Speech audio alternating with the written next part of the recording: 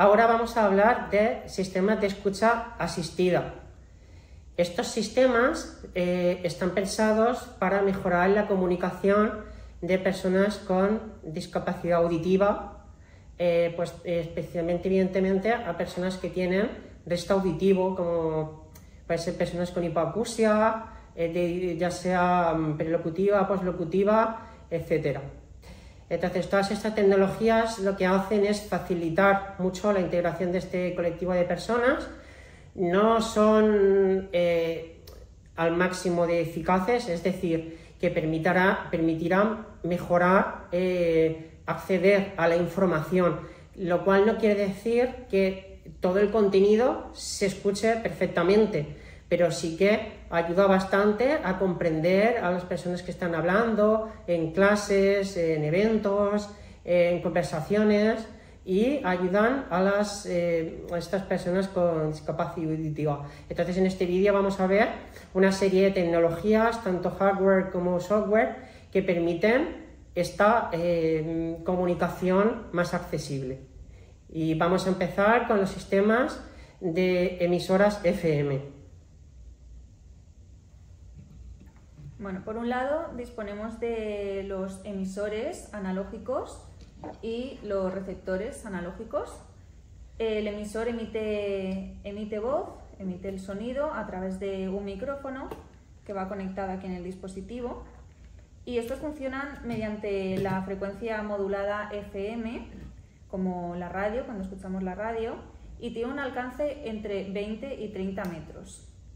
El funcionamiento de esto en un aula sería que el alumno acceda al aula con su receptor y sus auriculares y le entrega al profesor el micrófono para que se lo coloque en, la camiseta. Y de esta manera se escuchará directamente el audio de la voz del profesor y así se evitará cualquier ruido, cualquier eco y únicamente se escuchará la voz perfectamente nítida sin ningún otro ruido que pueda molestar a la persona que está escuchando con los auriculares. Además de en este sistema podemos utilizar también, aparte para receptores, la persona con discapacidad yo puede usar unos auriculares normales eh, pues, para conectarlos, pero también se pueden utilizar eh, lazos de inducción o bucles de inducción que es simplemente para, eh, para las personas que tienen eh, implantes cocleares o que tienen prótesis auditivas o audífonos que cuentan con la posición T en, su, en sus... suelen ser los, eh, los sistemas de escucha asistida prótesis auditivos analógicos, no digitales, que tienen una posición que se llama T o telebobina y que pues, permite que, permita acceder. Entonces simplemente sería conectar esto y a continuación esta persona se pondría el lazo alrededor de su cuello. Entonces, si tiene los audífonos o un implante coclear, eh, esto crea un campo magnético con el sonido y esta, mm, este, eh, el implante es capaz de inducir este campo magnético y transformarlo en sonido. De tal manera que una persona pues se pone esto y podría escuchar o bien con auriculares o bien con em, este lazo de inducción. También tenemos el cartel de, de, que indica este cartel que se suele utilizar eh, pues, en eventos, en clases, es para señalizar que el espacio es accesible para personas que llevan este tipo de dispositivos, o que llevan audífonos, etcétera, y cuando entren ahí, pues podrán escuchar. En este tipo de casos, pues, por ejemplo, en un evento, en una clase, etcétera, pues eh, la persona eh, cuando entre tendrá que pedir un receptor de este tipo, ¿vale?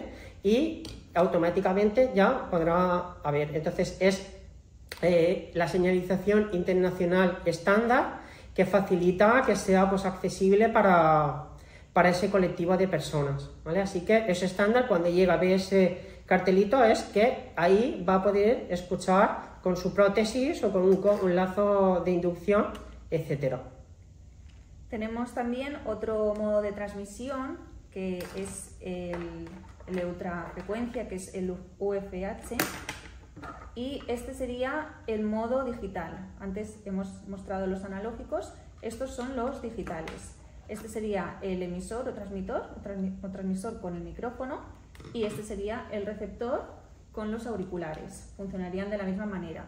El, único, la única diferencia es que el sonido pasa por un proceso de digitalización, entonces la calidad no será la misma que con el sistema analógico.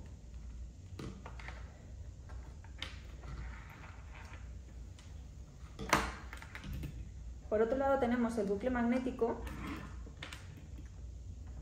que funciona también mediante el sistema FM y esto sirve para colocarlo en, los, en las mesas de mezcla de, por ejemplo, una sala de conferencias, que, para que se quede siempre fijo y conectado. Se conecta a través de esta clavija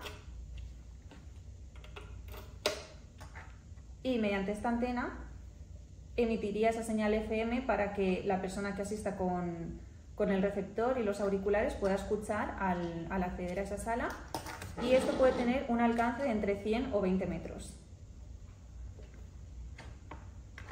Se pueden conectar hasta 16 receptores.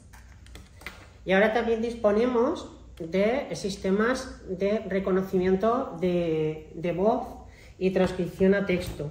En este caso, por ejemplo, eh, son sistemas que intentan reconocer la voz y transcribirla a texto. ¿vale? Existen eh, muchos tipos. Yo, por ejemplo, me voy a poner un micrófono ahora que está conectado, em, que conectamos al, ordenador.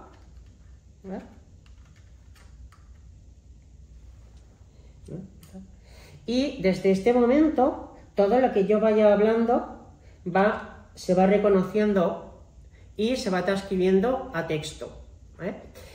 Esta aplicación es eh, muy útil, se llama TAL, transcripción automática en línea, y es gratuita, se puede utilizar, está realizada por la Unidad de Accesibilidad Digital de la Universidad de Alicante y se puede utilizar en ordenadores con eh, navegador Google Chrome. Entonces, esta ayuda también a que, por ejemplo, un profesor se ponga un micrófono en clase, esté conectado a este ordenador y entonces el estudiante puede estar viendo qué está escribiendo el estudiante.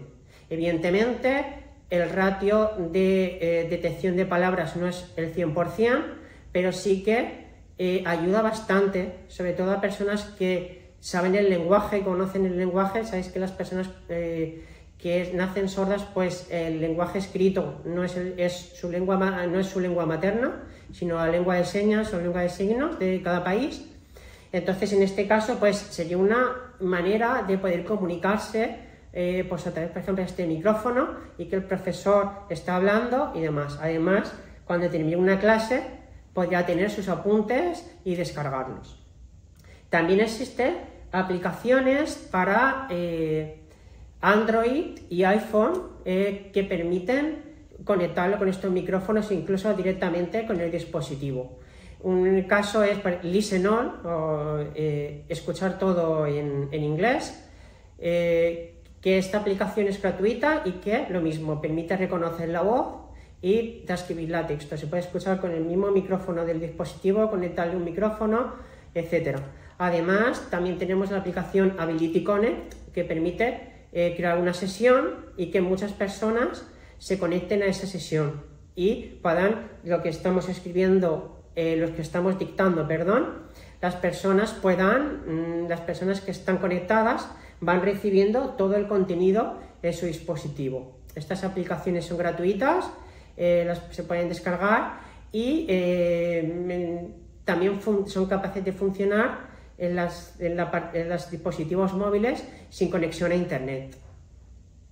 Y nada más, eh, todos estos sistemas de escucha asistida son fundamentales para la integración de personas con, discapacidad auditiva y son muy recomendables en uso en las aulas, en eventos y eh, pues en la universidad y en cualquier especie.